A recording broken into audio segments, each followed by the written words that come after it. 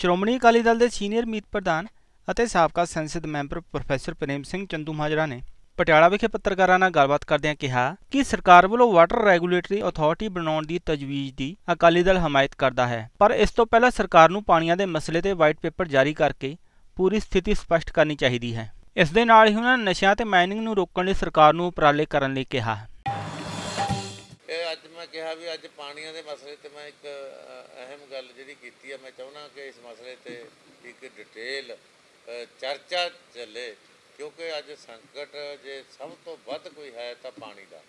ਤੇ ਪਾਣੀ ਦੇ ਸੰਕਟ ਨੂੰ ਗੰਭੀਰਤਾ ਨਾਲ ਔਰ ਪਬਲਿਕ ਪੱਧਰ ਤੇ ਲੈਣ ਦੀ ਲੋੜ ਆ, ਇਹਦੀ ਚਰਚਾ ਵੀ ਜ਼ਰੂਰ ਲੋਕਾਂ ਵਿੱਚ ਹੋਣੀ ਚਾਹੀਦੀ ਹੈ ਤਾਂ ਕਿ ਇਹਦੇ ਹੱਲ ਲੋਕਾਂ ਦੇ ਵਿੱਚੋਂ, ਪਿੰਡ ਵਿੱਚੋਂ ਸਾਹਮਣੇ ਆ ਸਕਣ ਸ਼੍ਰੋਮਣੀ ਅਕਾਲੀ ਦਲ ਨੇ ਤਾਂ ਜਦੋਂ ਬਾਦਲ ਸਾਹਿਬ ਦੀ ਸਰਕਾਰ ਸੀ, ਉਦੋਂ ਵੀ ਕੰਪਨਸੇਸ਼ਨ ਜਿਹੜਾ ਬਣਦਾ ਸੀ, ਰਾਜਸਥਾਨ ਤੋਂ ਮੰਗ ਕੀਤੀ ਸੀ। ਅਸੀਂ ਕਲੇਮ ਵੀ ਕੀਤਾ ਸੀ। ਔਰ ਭਾਵੇਂ ਹਿਮਾਚਲ ਸਰਕਾਰ ਨੇ ਪੰਜਾਬ ਤੋਂ ਲੈਣ ਦਾ ਕਲੇਮ ਪਾਤਾ ਸੀ, ਪਰ ਅਸੀਂ ਹਿਮਾਚਲ ਨੂੰ ਕਿਹਾ ਸੀ ਵੀ ਆਪਣਾ ਪਾਣੀ ਰੋਕ ਲਓ। ਜਿਹੜਾ ਹਿਮਾਚਲ ਦਾ ਕਲੇਮ ਇਸ ਕਰਕੇ ਅਸੀਂ ਰੱਦ ਕੀਤਾ ਸੀ ਕਿ ਹਿਮਾਚਲ ਪਾਣੀ ਰੋਕ ਨਹੀਂ ਸਕਦਾ, ਬਲਕਿ ਪ- ਹਿਮਾਚਲ ਦਾ ਪਾਣੀ ਰੁੜ ਕੇ ਸਾਡੇ ਖੇਤਾਂ ਨੂੰ, ਸਾਡੀਆਂ ਫਸਲਾਂ ਨੂੰ ਤਬਾਹ ਕਰਦਾ। ਇਸ ਕਰਕੇ ਅਸੀਂ ਜਿੱਥੇ ਤੱਕ ਪੰਜਾਬ ਦਾ ਪਾਣੀ ਆ, ਪੰਜਾਬ ਦਾ ਪਾਣੀ ਜਦੋਂ ਰਾਜਸਥਾਨ ਜਾਂਦਾ ਤੇ ਉਹ ਲਾਜ਼ਮੀ ਤੌਰ ਤੇ ਉਹਦਾ ਕੰਪਨਸੇਸ਼ਨ ਦਾ ਹੱਕਦਾਰ ਪੰਜਾਬ ਆ।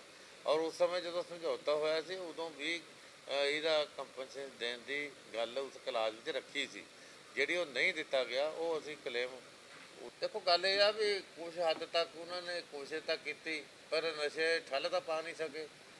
ਅੱਜ ਤੱਕ ਕੋਈ ਇਸ ਤਰ੍ਹਾਂ ਦੀ ਅਹਿਮ ਉਦਾਹਰਨ ਜਿਹੜੀ ਨਹੀਂ ਦੇ ਸਕਦੇ, ਜਿਹਦੇ ਨਾਲ ਪੰਜਾਬ ਸਰਕਾਰ ਵੱਲੋਂ ਬਣਾਈ ਗਈ ਸਿੱਟ ਨੇ ਕੋਈ ਨਸ਼ੇ ਰੋਕਣ ਦੇ ਵਿੱਚ ਕੋਈ ਯੋਗਦਾਨ ਪਾਇਆ ਹੋਵੇ।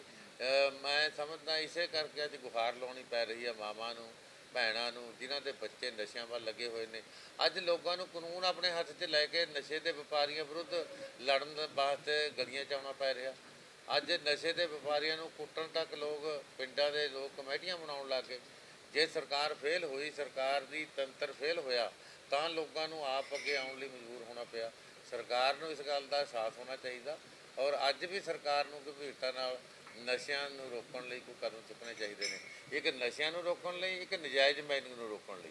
ਨਜਾਇਜ਼ ਮਾਈਨਿੰਗ ਦਾ ਧੰਦਾ ਵੀ ਨਸ਼ਿਆਂ ਵਾਂਗ ਹੀ ਵਾਧਾ ਫੁੱਲਦਾ ਰਿਹਾ।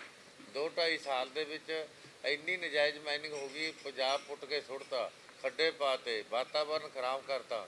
ਸੜਕਾਂ ਟੁੱਟੀਆਂ, ਪੁਲ ਟੁੱਟ ਗਏ, ਐਕਸੀਡੈਂਟ ਹੋ ਰਹੇ ਨੇ। ਮਤਲਬ ਇਸ ਕਿਸਮ ਦਾ ਮਾਹੌਲ ਪੰਜਾਬ ਦਾ ਬਣਾਤਾ ਤੇ ਸਰਕਾਰ ਬੇਧਿਆਨ ਹੋਈ ਬੈਠੀ ਹੈ ਲਾਪਰਵਾਹੀ ਹੋ ਬੈਠੀ ਹੈ ਸਰਕਾਰ ਵੱਲੋਂ ਕੋਈ ਮਾੜਾ ਮੋਟਾ ਵੀ ਯਤਨ ਨਹੀਂ ਹੋਇਆ ਕਿ ਨਜਾਇਜ਼ ਮੈਨੂੰ ਨੂੰ ਰੋਕਣ ਲਈ ਤੇ ਨਸ਼ਿਆਂ ਨੂੰ ਖਤਮ ਕਰਨ ਲਈ ਕੋਈ ਸਾਰਥਕ ਹੱਲ ਲੱਭੇ ਜਾਣ।